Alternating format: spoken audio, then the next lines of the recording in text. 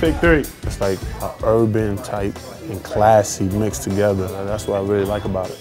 Rocawear. I, mean, I know Rocawear and Sean, that's like Yeah. the biggest competitors, but uh, anything that actually like fits me right, you know, and, and looks right, that's something I wear. Gotta have an earring, you know, I'm a big watch guy as well. Got Jacob watch, you know, uh, actually got this uh, nice chain over here.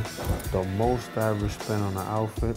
If I like it, there's no, uh, It doesn't matter. Before I made it to the NBA, uh, stores around, you know, our neighborhood, you know, like Jimmy Jazz, you know, stuff like that. Nothing big. Come from the hood, you know. Sneaker brands, uh, Nike's up there, Sean John's. I rock uh, Adidas, Reebok. I'm a real big Jay-Z fan. My favorite album, they're, they're all pretty good. Uh, I'm a big 50 Cent fan. Get Rich or Die Trying. I think that was like the hottest uh, CD. I like Eminem as well. You gotta have Biggie.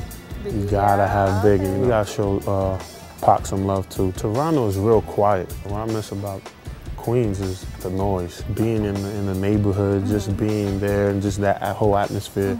You know, it's to- totally different in, in Toronto. It's Travis Villanueva from Toronto Raptors, and you're watching DimeMag.tv.